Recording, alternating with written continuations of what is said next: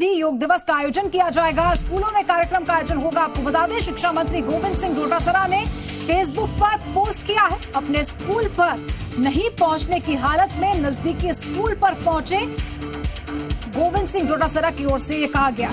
तो बड़ी खबर आपको बता दें, इक्कीस जून को प्रदेश में अवकाश होने के बावजूद भी योगा दिवस मनाया जाएगा। योग को बैक सीट या फ्रंट सीट पर लाने के लिए लगातार जो प्रयास है वो किए जा रहे हैं और इसी की बानगी इस बार योग दिवस पर अवकाश होने के बावजूद भी देखने को मिलेगी क्योंकि हर स्कूल में कार्यक्रम का आयोजन होगा। जी मीडिया संवाददाता ललित हमारे साथ जुड़ चुके हैं और अधिक जानकारी के लिए उनका रुख कर लेते हैं। ललित, शिक्षा मंत्री गोविंद सिंह डोटासरा का कहना है कि इस बार अवकाश होने के बावजूद भी तमाम स्कूलों में योग दिवस पर कार्यक्रम का आयोजन होगा और साथ ही वो ये कहते हुए भी नज़र आए कि अपने नजदीकी स्कूल पर ही चले जाएँ, लेकिन इस कार्यक्रम में ज़रूर हिस्सा लें। जी बिल्कुल पूजा आपको बता दें कि जी राजस्थान का ये एक बड़ा खबर जो असर है खबर का बड़ा असर है वह हुआ है क्योंकि जब नया कैलेंडर जारी किया गया था जिसमें कहा गया था कि चौबीस जून से स्कूलें खुलेंगी उसके बाद कयास लगाए जा रहे थे कि योग दिवस पर जो अंतर्राष्ट्रीय योग दिवस है उस पर कोई कार्यक्रम स्कूलों में नहीं होगा जिसके बाद लगातार सरकार पर दबाव बन रहा था।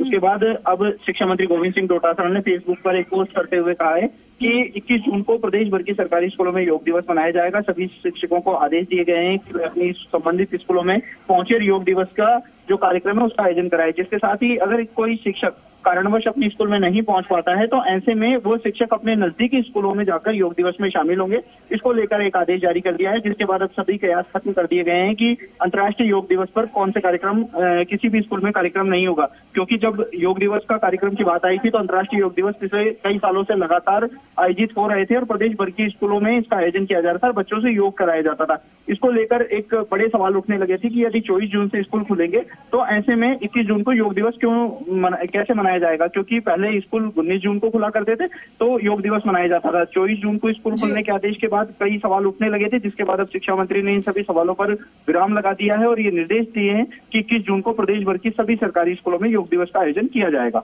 वही मैनेजमेंट को लेकर एक बड़ी समस्या ये भी है ललित, जिस तरह से 24 जून को स्कूल खुलेंगे, ये इन्फॉर्मेशन स्टूडेंट्स के पास है, लेकिन 21 जून को योग दिवस की जो इन्फॉर्मेशन है, उसमें शामिल होने के लिए बच्चों को दी जानी है, वो भी एक बेहद ज़रूरी चीज़ है, क्योंकि बच्चे जो अवकाश है, ऐसे में अपने यही रिश्तेदार के यहाँ छुट्टी होने की वजह से अपने घरों में गए हुए होंगे, और ऐसे में उन्हें एक बार फिर से तीन दिन पहले स्कूल में बुलाना एक समस्या ही होगी। जी बिल्कुल पूजा अगर बात करें अभी अवकाश का समय चल रहा है। बच्चे अधिकतर जो बच्चे होते हैं वे अवकाश के दिन अपने पारिवारिक जो प्रोग्राम होते हैं उनमें रहते हैं। कोई बाहर गया हुआ था लेकिन अब अगर ग्यारह जून की बात की जाए ग्यारह जून को आदेश जारी किया गया था पूरा दस दिन का समय पूरा बचा है।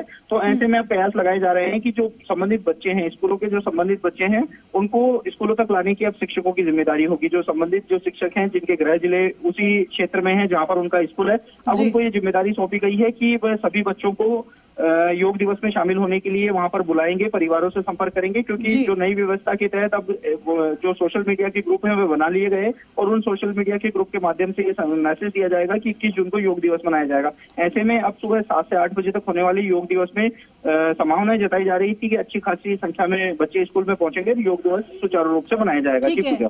शिक्षा मंत्री की ओर से अब ये घोषणा कर दी गई है शिक्षकों पर बड़ी ज़िम्मेदारी होगी बच्चों को स्कूल तक लाने की क्योंकि भव्य आयोजन किया जाना है। तमाम सरकारी स्कूलों में योग दिवस की जो तस्वीरें पहले भी सामने आती रही है, वो इस बार भी 21 जून को सामने आएगी, जहाँ हर स्कूल में योगा करते हुए स्टूडेंट्स, शिक्षकों के साथ नज़र आएँगे। शुक्रिया फ़िलहाल तमाम जानकारी के लिए आप